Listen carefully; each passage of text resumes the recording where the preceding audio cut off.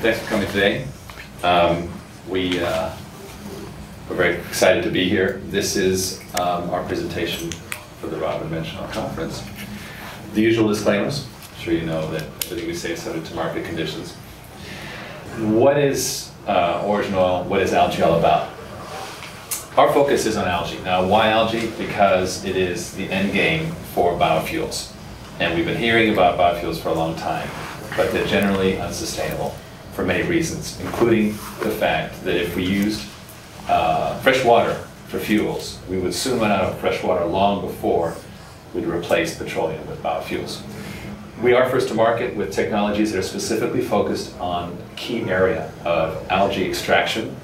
Um, so there are lots of players in growth, lots of players in processing, but very few players in this key area of how to get the algae extracted.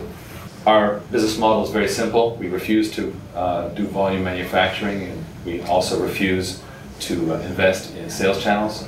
So it's a powered by OriginOil model, basically leveraging other distribution. And really we feel that our technology is central enough to the entire algae industry that we're better off getting it out there in everybody else's systems than trying to build our own. We're closely working with the Department of Energy on uh, feedstock standards, which is a key initiative for the industry. We are in revenue, and uh, we booked so far this year seven figures in sales, and we're now moving towards commercialization. Uh, OriginOil happens to have a very well committed, deep investor base, which helps when you're in expansion mode like we are. Okay, quickly I'm going to cover the algae story. This year, the sugar harvest is short in uh, Brazil and prices are up 85%. This is not a sustainable model for fuel. Second generation, using various forestry waste and so forth, is, is intriguing, but the biggest problem is the problem of freshwater use, which people tend to discount. Advanced biofuels, which is essentially algae, is something that does not require land, is not a food crop, loves any kind of water, absorbs waste products like CO2 and uh, nitrates and so forth. And it's very fast harvest, as opposed to three or six month harvest. You're talking about a, a daily harvest. So it is a third generation uh, product. Now, every single technology needs its killer application. We believe we found it in something called carbon capture, which doesn't happen in the US because apparently we can't get our mind, make up our minds to get rid of carbon uh, here in this country. But in places like Australia, Europe, China, it's all the rage. The only idea people have is to take all that carbon and throw it into the ground again, which is a, not a very good idea. We have a better idea, which is beneficial reuse through the use of algae. Biofuels, of course, this is a, a, trend line that is based on certain assumptions which we think will be outstripped by the fact that algae will take over as the feedstock of choice. What is uh, our share of that market? Um, according to, to uh, forecasts, um, emerging production technologies will have roughly a one-third share of this $1.6 billion market in just three to four years.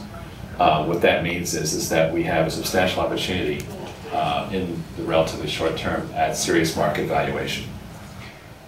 Even in the US, we have some serious mandates to get rid of ethanol over time and to, to replace it with advanced biofuels, again, algae. Now, uh, people talk a lot about expensive things like omega-3s and so forth that can come from algae, and in fact, all the producers today of algae are making expensive foodstuffs, things like beta-carotene, uh, omega-3 DHA. Um, obviously, those markets are attractive, but they're very small, they'll get overbuilt. This is the sweet spot for algae, which is chemicals. 90% of fuel goes, uh, crude oil goes into fuel, but 40% of the profits come from petrochemicals. We intend to decapitate, as an industry, we intend to decapitate the petrochemicals high-end chemical business. What about our technology? Well, first of all, why would you worry about extraction? The problem, right, is, is that, that there's just too much water. Algae is essentially Kool-Aid uh, when, you, when you harvest it. And how do you get the Kool-Aid back out of the water? That challenge is today answered by very high energy, high capex solutions, which are justified by the fact that people are getting $60 a kilo for their product. But when you're trying to go down to 85 cents a kilo, then you've got to have something more efficient. And this is the challenge, how to dewater the algae. We have the technology that answers that. It's basically composed of electromagnetic pulses combined with various other elements to both dewater the algae, get the water out, and break it down for further process. We, we can say with, with, with confidence that no one else is in the market today doing this, and it is our unique selling proposition. Let me just diagram it for you briefly. Uh, here you've got an algae growth system of whatever kind, and there's, a, there's many, many different ways to make algae. Um, being fed by inputs, water, CO2, the nitrates, all of which you should be paid for. You should be paid for getting, taking in dirty water, taking in waste CO2, and of course taking in those nitrates that are causing algae blooms in estuaries in China and elsewhere. Then, once you produce your algae, it comes out as, again, as I said, Kool-Aid, goes into our system, and after concentration, very simple mechanical concentration, we end up with something we've proposed, and uh, we are working with uh, standard setting organizations on what's called a uniform intermediate feedstock. That is the landing spot for a grower, which is a kind of a slurry we call algae crude. Now this slurry has a choice. We can either take it for separation or fractionation into uh, numerous fractions such as pharmaceuticals, chemicals, etc. Or we can take it in its existing form straight to something called bio oil, which is refinable like a petroleum feedstock into real diesel, jet fuel, and of course, all the fractions of chemicals. So what we predict is that the world is going to tend to go towards this. Why? Because these markets are huge and you, you don't have the very expensive uh, separation step required to get to the high value products over here.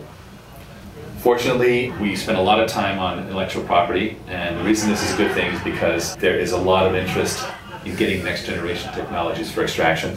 We filed our first patent in uh, April of 2009, and we have a half a dozen supporting patent filings around this extraction technology.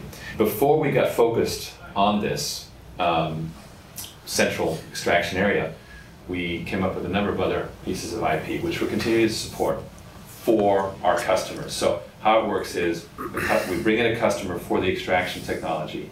Once they're inside um, our corral, so to speak, then we're able to give them help uh, with CO2 injection, better uh, growth lighting, um, sanitizing the, the growth systems and so forth.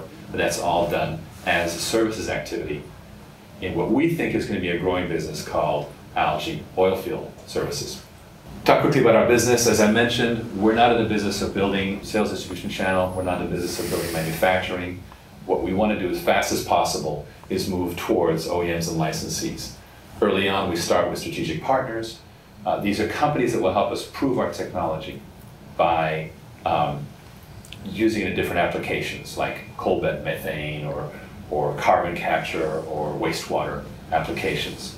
So these direct customers will help us prove our technology. But as soon as possible, we want to move from that to an OEM, original equipment manufacturer model, where it's essentially powered by OriginOil. Intel inside, essentially. So that model allows us, of course, to, to limit capital requirements.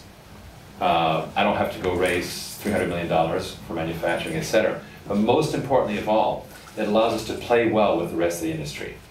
You know, I learned in the high-tech boom that you don't compete with your natural partner.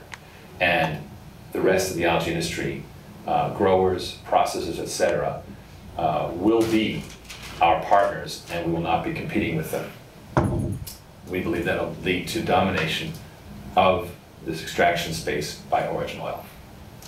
Well, we have a first strategic partner, and we focus on just one um, because our technology was still in development, and we were able to find a very well-funded company called MBD Energy, which um, is has a cornerstone investor in Anglo American Mining and a couple other mining um, organizations. They have a pending IPO. They're very well funded and what they've gone ahead with is very aggressive scale up. With their financial model is to be paid for absorbing the CO2. And the power, the power stations that put the CO2 out don't care what happens to the algae.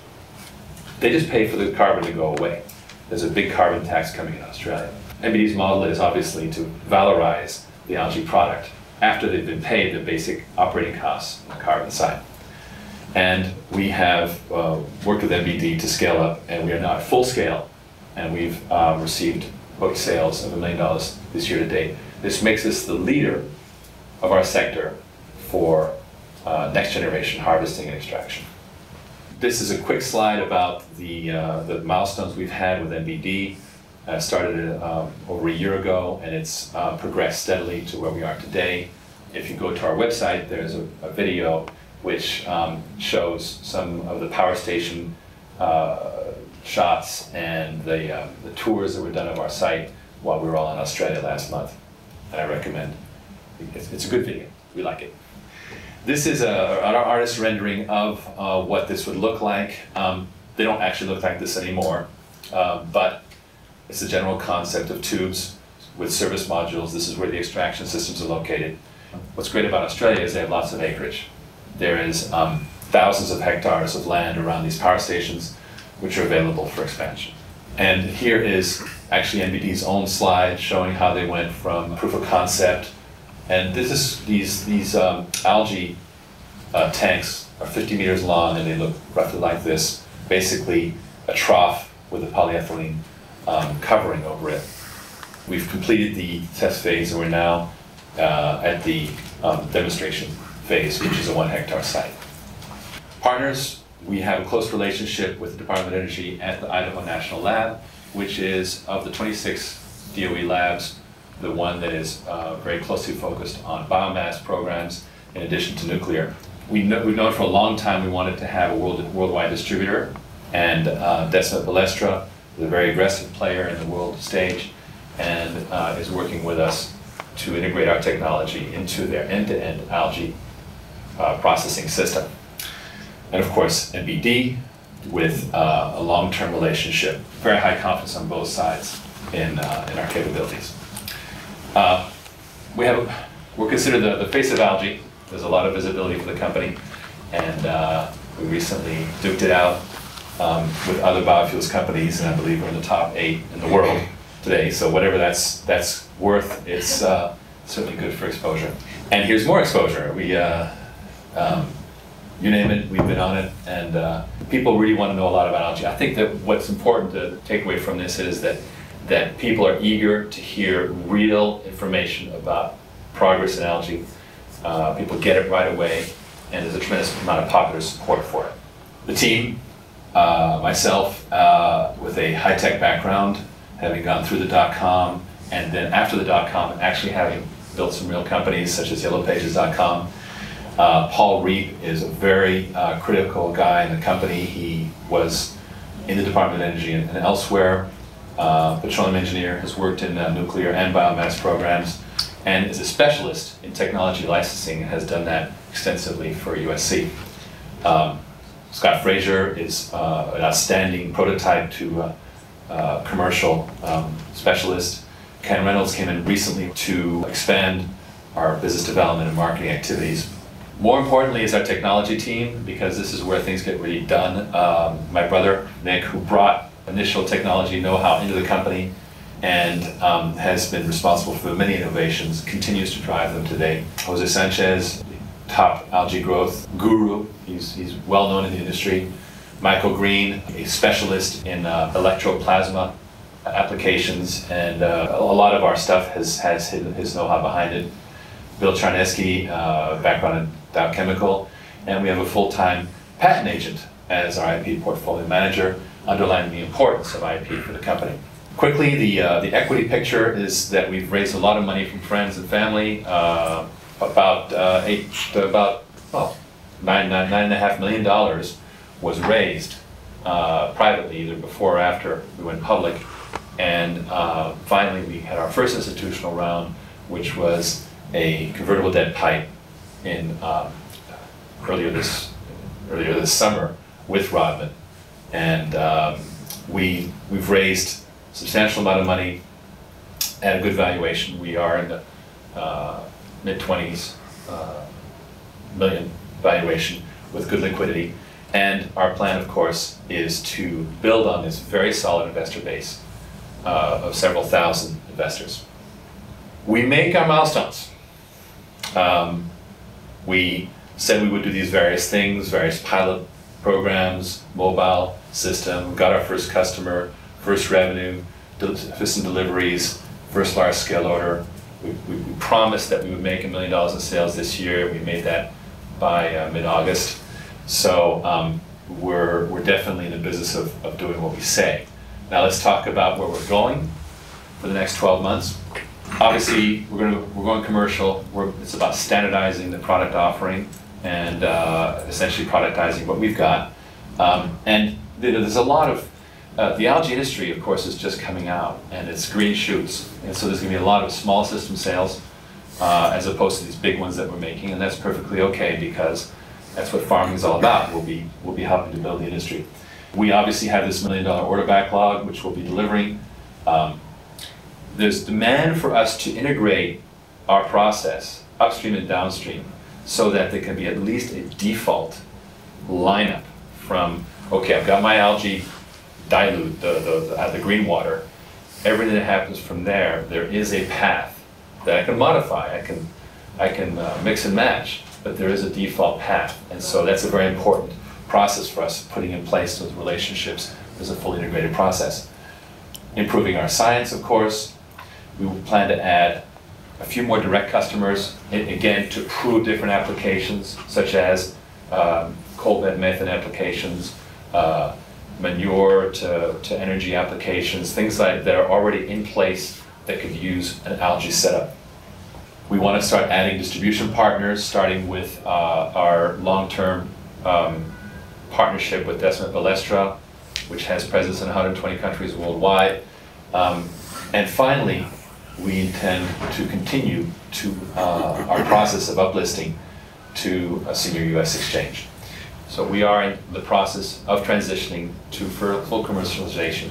This is a perfect inflection point for the company when we've done all the heavy lifting of actually getting a technology and, and proving it and getting into revenue and now going through an orderly process of expansion through a reasonable amount of capital injection.